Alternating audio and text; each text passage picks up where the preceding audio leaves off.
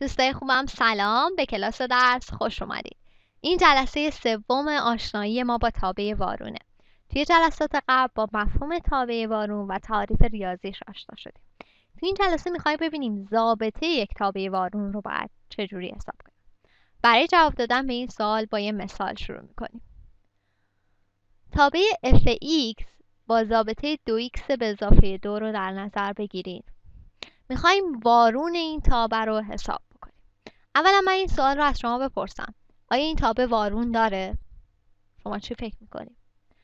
من میگم این تابع وارون داره چون این تابع یک به یکه اگر در یک به یک بودن این شک دارید برید از تعریف تابع یک به یک لطفا خواهش می‌کنم استفاده بکنید و به عنوان تمرین ثابت بکنید که این تابع یک به یک خب حالا چون این تابع یک به یکه و وارون داره ما می‌خوایم وارونش رو حساب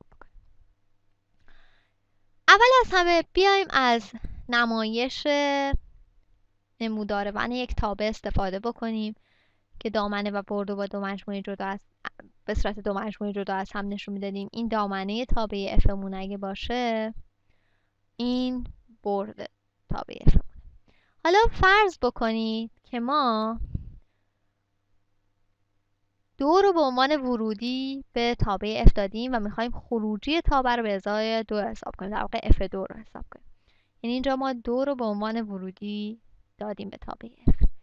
می‌خوایم ببینیم چه خروجی اینجا به دست میاریم از ضابطه استفاده می‌کنیم میگیم تابع f هر ورودی رو که بگیره ضرب در دو می‌کنه یعنی اینجا دو رو ضرب در دو می‌کنه و با دو واحد جمع پس اگر ما ورودی دو رو به تابع بدیم خروجی 6 رو تولید می‌کنه یعنی اینجا هم این عدد 6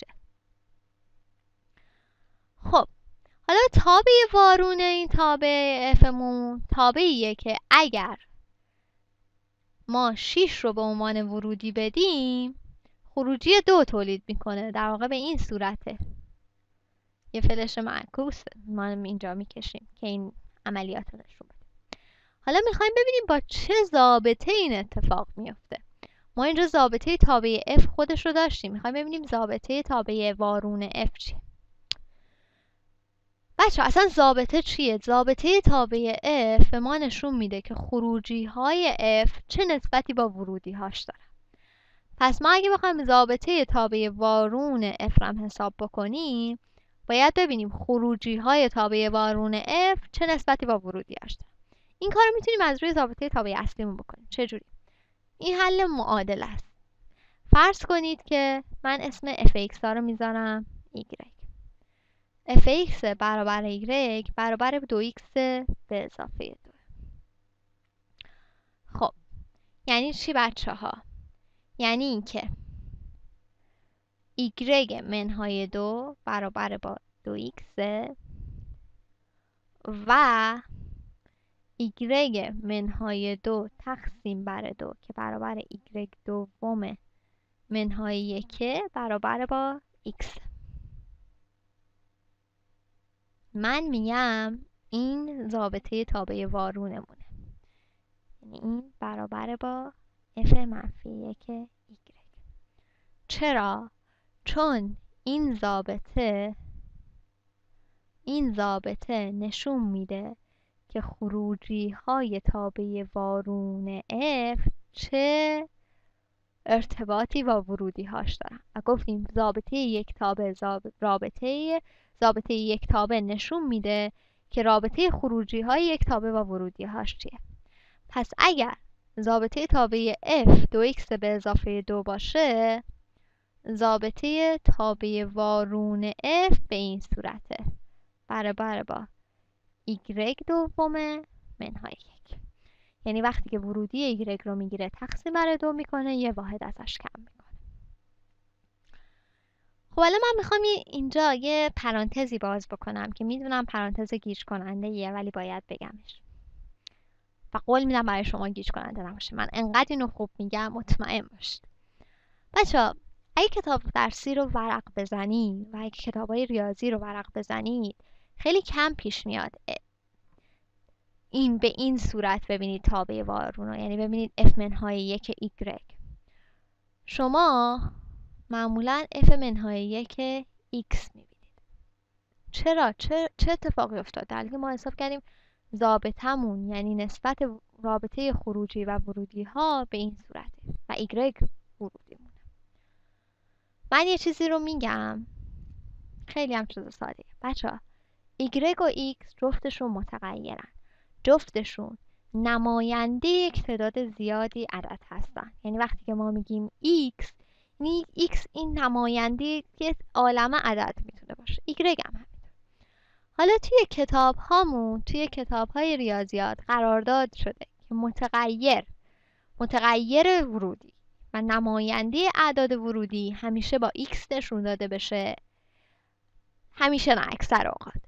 و متغیر نمایش دهنده خروجی ها با y یا y.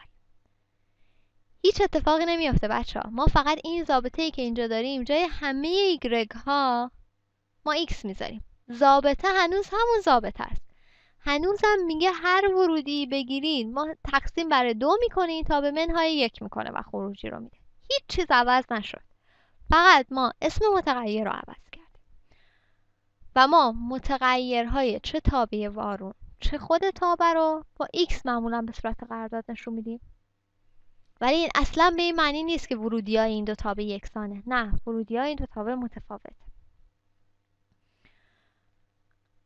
خب بچه یه چیز دیگه ما توی جلسه پیش یه تعریفی هم از تابع بر کتاب تابع وارون بر کتاب حسابان دادیم آشنا شدیم باش که من می‌خوام اونم بررسی بکنم. توی کتاب حسابان گفته شده که اگر ما تابع وارون رو با تابمون ترکیب بکنیم و ورودی x بدیم خروجی هم x می‌گیریم. حالا من می‌خوام با توجه به تابع f(x) که برابر 2x به اضافه 2 و ضابطه ضابطه تابع وارونش که برابر x دوم منهای یکه اینو به شما ثابت می‌کنم. وقتی f منفی یک او f x برابر بچه ها با f منفی یک f(x) یعنی خروجی های تابع x رو به عنوان ورودی به تابع وارون بریم. خروجی های تابع x چیه؟ خروجی های تابع x برابر با 2x به اضافه 2 در واقع ما می‌خوایم ببینیم 2x به اضافه 2 رو اگر به عنوان ورودی به تابع وارون بدیم چه اتفاقی میافته.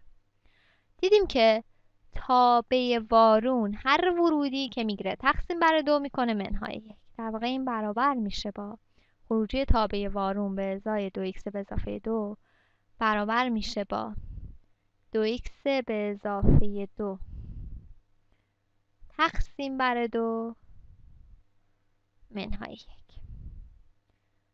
که این برابر میشه با این برابر میشه با x به اضافه یک منهای یک که برابر میشه با x. نشون دادیم که f ترکیب دو تا تابع وارون ترکیب تابع وارون با تابع اصلی ورودی اگر ورودی x بگیره خروجی تولید کنه حالا یه چیز دیگه هم من می‌خوام به شما نشون بدم. بذارید یه ذره جا باز کنم تو این صفحه. من نه بذارید سعی می‌کنم تمیز بنویسم. من می‌خوام یه چیز دیگه هم به شما نشون بدم. بگم که حتی حتی f o f منفی یک x هم برابر x. برای نشون دادن این دوباره من همین کار می‌کنم. میگم f o f منفی x برابر با من یک لحظه کوچولو اینو پاک می‌کنم.